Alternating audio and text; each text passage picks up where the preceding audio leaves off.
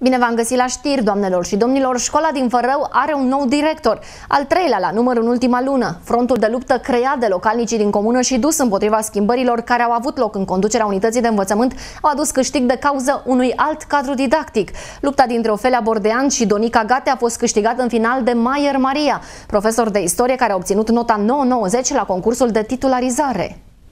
În urma protestelor de la școala gimnazială din Fărău de săptămâna trecută, Inspectoratul Școlar Județean Alba a întocmit o comisie care vineri s-a deplasat în localitate și a închetat cazul. Am uh, luat legătura acolo cu comunitatea locală, cu reprezentanții părinților și cu cadrele didactice.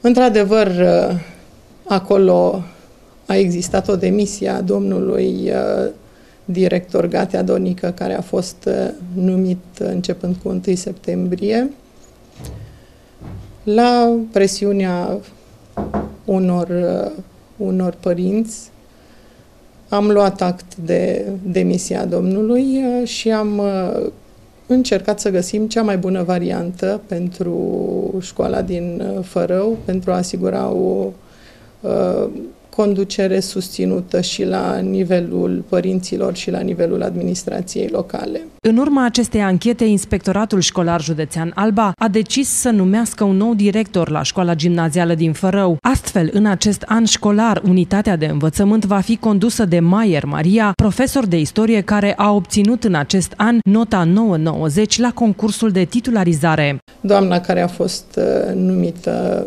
director uh, a obținut la concursul de titularizare din anul acesta media 990 la disciplina istorie și am considerat că un om care reușește din punct de vedere profesional să fie în vârf are șansa să fie și un manager bun. Iar după discuțiile cu autoritățile locale am fost asigurați că va fi sprijinită și vor dispărea orice fel de probleme. Noul director este titular la mai multe școli, însă a decis să rămână în acest an numai la catedra din Fărău și să îndeplinească și funcția de conducere pentru care a primit detașare în interesul învățământului. În viitor, noul director poate rămâne în funcție dacă va fi numit în continuare de Inspectoratul Școlar Județean Alba sau în cazul în care se prezintă la concurs pentru a obține acest post, iar astfel va conduce unitatea de învățământ timp de patru ani.